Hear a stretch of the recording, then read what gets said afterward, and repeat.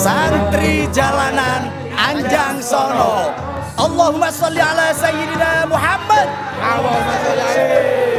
sebagai santri yang kita junjung tinggi adalah ilmu, amal, dan juga akhlakul karimah. Santri kulo ini didik tapi insya Allah cukup cukup membuat kepala saya pusing.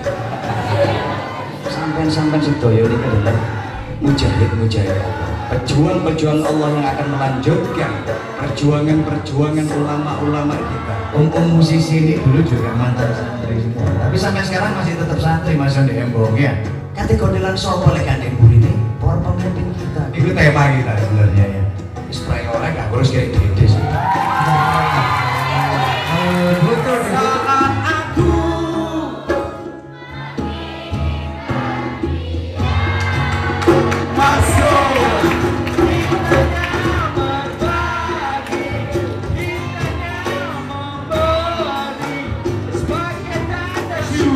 Mudah-mudahan kegiatan seperti ini bisa berjalan dengan istiqomah, dengan sangat baik dan mudah-mudahan banyak pihak yang mau apa bekerja sama dengan kita dan mau me- membersamai kita dalam langkah dakwah kita.